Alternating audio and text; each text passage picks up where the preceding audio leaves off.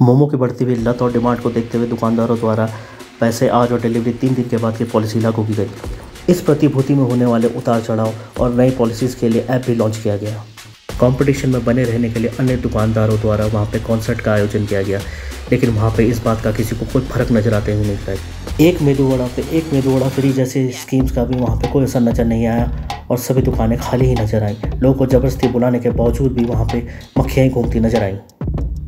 जैसे ही सरकार को उस बात का पता चला, उन्होंने मोमो के नशे से लोगों को सावधान करने के लिए वहाँ पर सावधान का बोर्ड लगा दिया, जिससे लोग सस्ते नशे छोड़कर अपने सेहतमंद खाने की ओर बढ़ जाएँ। लेकिन लोगों ने उसे दरकिनार करते हुए वहाँ आ जाके भारी मात्रा में मोमो का सेवन किया और दूसरों को भी खाने के लिए प्रेरित किया। सरकार ने जागरूकता कार्यक्रम चला के लोगों को प्रेरित करने की कोशिश की, लेकिन लोग मोमो के नशे करके वहीं पहुँच गए और कहने लगे, मैं अपने बाप का खाता हूँ, तेरा क्या जाता है? तेरे में बस है, तू अपने बाप का खा। और वहाँ पे उल्टा कार्यकर्ताओं से भिड़ पड़े।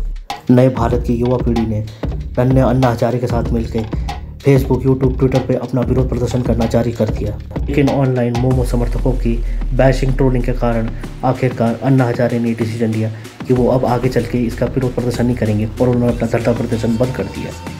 फाइनली मैंने सोचा कि मोमो के सस्ते नशे छोड़कर अब ब्राउन शुगर लेने का वक्त आ गया लेकिन जैसे ही मैंने उसके रेट देखे, मेरी डीप की डीप निकल गई।